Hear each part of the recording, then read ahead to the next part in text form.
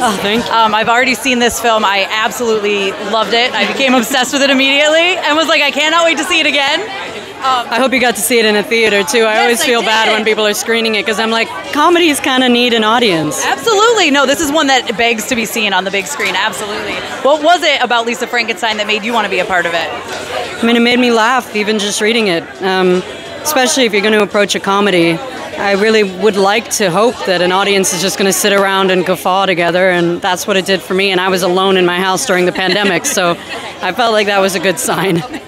I mean, the cast is incredible. Can you talk about, you know, landing them and were they kind of like your dream cast, I guess? Well, it was in this case, it was also easy because Cole's one of my best friends, so I was like, "Buddy, let's go."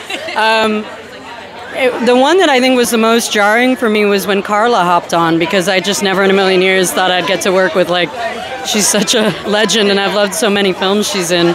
But it all came together really organically, to be honest. The only thing that's strange is the pandemic changed our industry so much that you didn't get to do the usual things that you do when you cast people, like a chemistry read or like a table read. And that's, for a director, really daunting because you'd like to get to know what they're going to be like around each other. For all I could have known, they might have hated each other. When, thankfully, they did not. But that's the fear from that. But we, we really lucked out. Yeah. When you were looking over the script, was there one part that you were like a little nervous to shoot? Maybe you thought it wasn't going to come together well?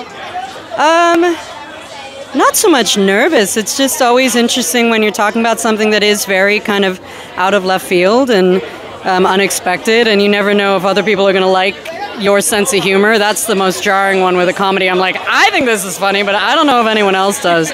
Especially murder. I was like, these are funny to me, and yet right now I'm like, I think some people might be like, Are you okay? Um, but I, I just, I had a blast. No, I mean, it's so much fun. It's an absolute blast of a movie. It's great. Congratulations. Uh, final question What are you most excited for people to see in this movie? One of the scenes that I had the most fun pitching um, is the kind of final pivotal uh, murder.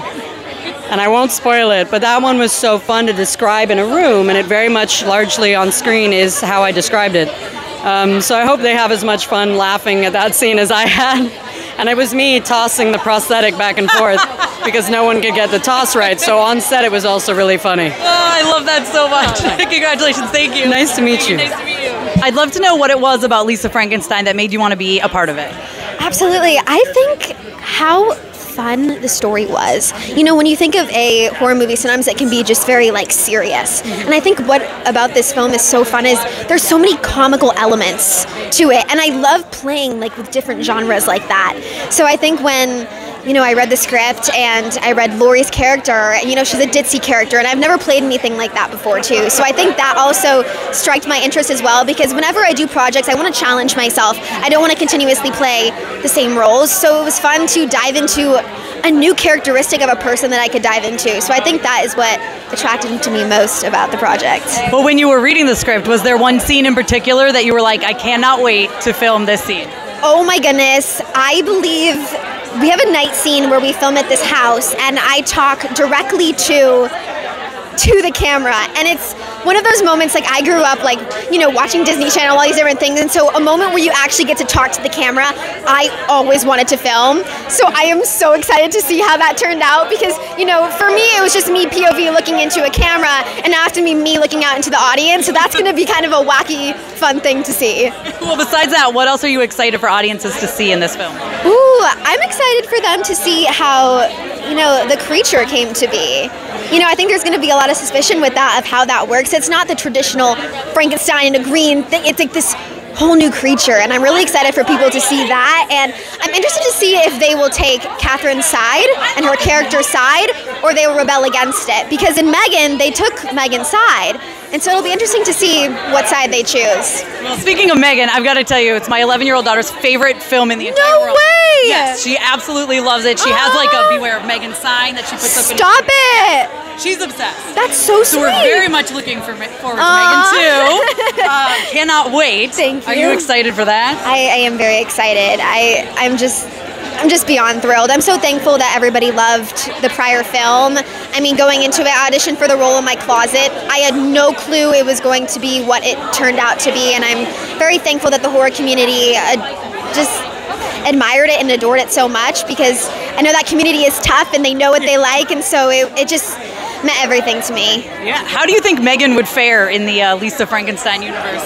You know, I think she would fare pretty good. She might mix some things up, kill a few people. I mean, definitely my character would be sliced and diced because she has no brain cells. So my character would definitely be dead. But, you know, I mean, you know, you never know. She might become friends with her. Who knows? I don't know. I don't know that Megan would put up with her very.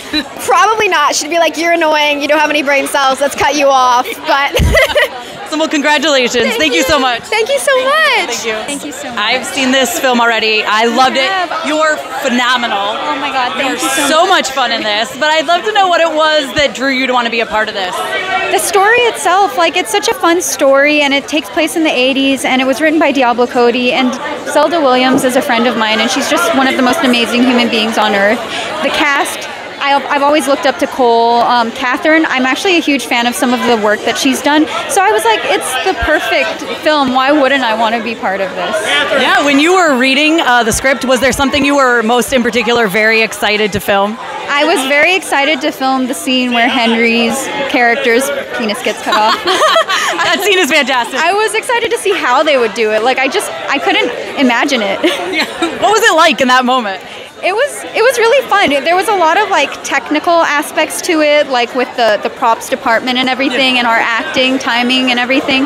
But it was it was really fun. It the, we were expecting it to be a hard scene because of all the different variants, right? But it was actually the most fun I think we all had. It was our first scene together, like um, with Cole and Kathryn and Henry. So we were just laughing the whole time on the set. And what is it like working with someone when they don't speak the whole time?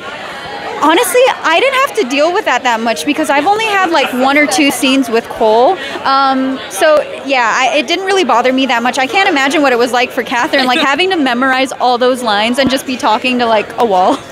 you know what I mean?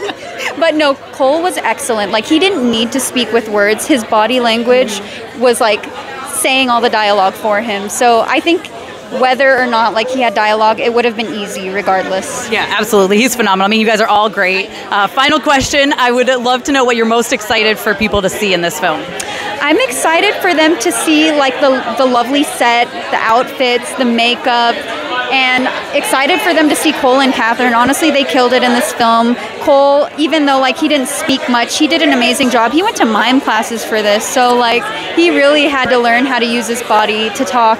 Kathryn, she's phenomenal in like all the horror films that she does. I think she kills it every time, and she she's just so quirky in this film, and I'm excited for people to see that side of her. Amazing. Well, thank you so much. Hello, congratulations. Thank you so much. When you were looking at the script, was there one scene in particular that you were most excited to film? Yeah, it was actually the first scene I actually shot too, which is that scene in the end where we sever with the axe. Um, definitely that one. That one was a lot of fun. It turned out how you hoped it would. Yeah, it was my first day on set. It was a lot of fun. We got to get all the practical effects. Everyone's screaming. Um, it, yeah, it had the whole movie kind of in one day, which was nice. Amazing. Thank you. Congratulations. Of course, thank you. When you were looking over the script, was there one scene in particular you were most excited to film? You know, I think um, well the the, fil- the the scene that ended up being super fun to film because we kind of decided what it was going to be in the moment is when I have the Walkman on and we decided I, I'm like I think I should be drinking a martini while cleaning and you know so that and listening to a self help tape. The whole thing just made perfect sense somehow to both Zelda and I. So that ended up being the funnest scene. But when I read the script, um, I found her being obsessed with her figurines and the fact that everything had to be just so um, because I am a Virgo. I'm a little bit of a perfectionist. And so I'm certainly nothing like Janet, but that scene really made me laugh. Amazing. Well, you're phenomenal in this. Congratulations. so much.